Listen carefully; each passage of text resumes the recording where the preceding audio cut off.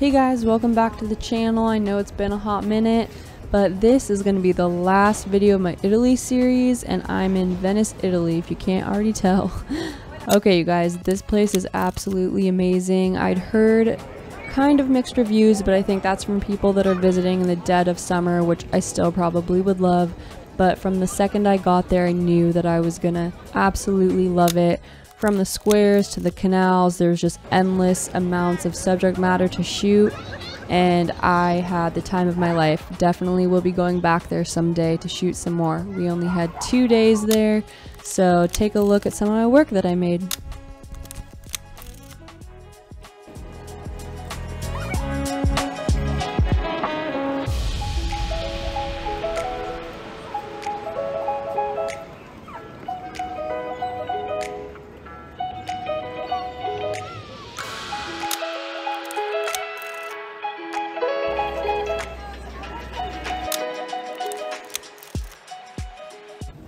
I've seen photos of Venice, but nothing truly does it justice until you go there yourself and see it with your own eyes. From the moment you step off the train station or however you get there, you see how the city's built and it absolutely astounds you.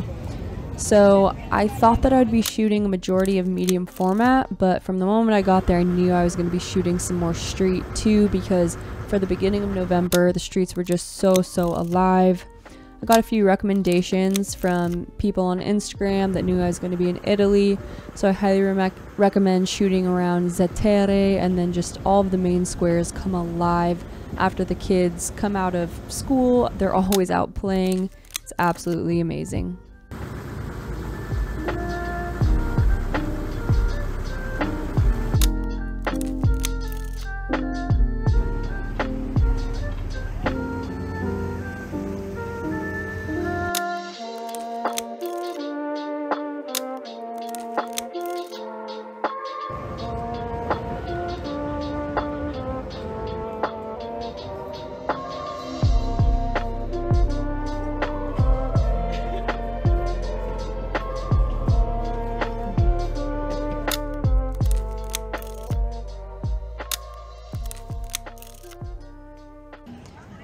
And this is where all my dreams came true.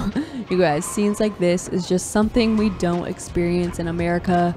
Kids are driving home from school, their parents are picking them up, but they do not go to the squares and play football with their friends and draw with chalk with their sisters. So this was literally all I asked for when coming to a place like Venice. I even told my mom, who was my travel buddy, I was like, I just hope that we come across some kids playing football, hanging out, and my dreams came true. So enjoy these photos because I certainly will for the rest of my life.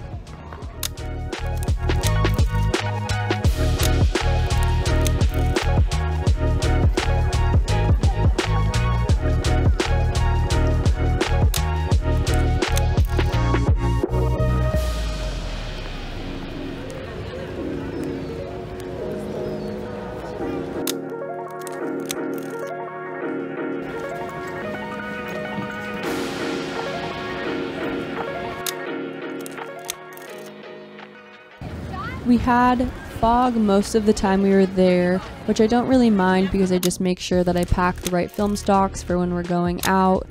But coming up here in a second, we did get some sun, which was pretty nice. So I was kind of just walking through the crowds as the people headed toward the train station and enjoying for a brief moment that I could play with a larger zone.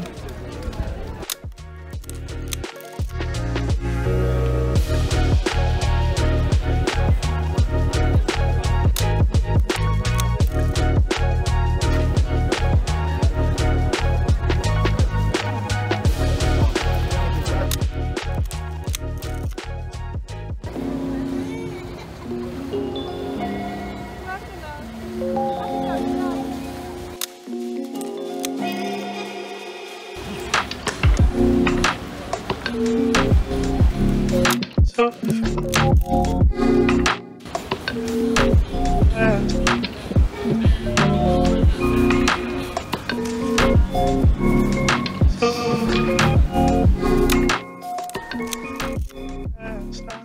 Since it was my first time in Venice, we obviously hit some of the more touristy spots, but it's moments like this that make everything worth it. I mean, you just can't make this up. There's kids in a class drawing architecture across the water, and these are the moments that I live for, and it's why I do what I do. Of course, if I had more time, I would have loved to just endlessly stroll the streets and get lost in the streets of Venice.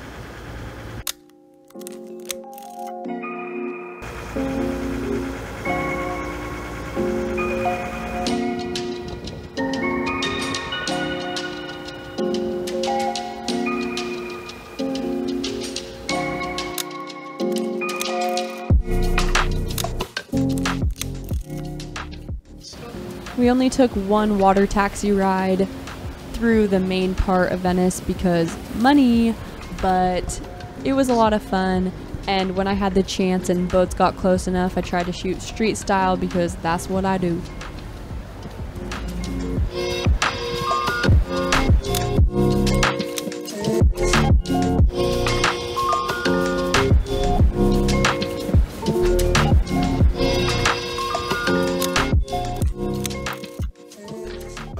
Last but certainly not least, you cannot forget the food in Venice. I mean, we had far too many spritzes, the cicchetti was amazing, seafood pasta. You guys, you can't beat the food. Overall, it was an amazing trip with tons of squares, lots of shooting, lots of food, basically everything that I need in life. And let's not forget all the Italians peeking their head out the windows. Anyways, thanks guys for watching and I hope you enjoyed this video. See you for the next one. Peace!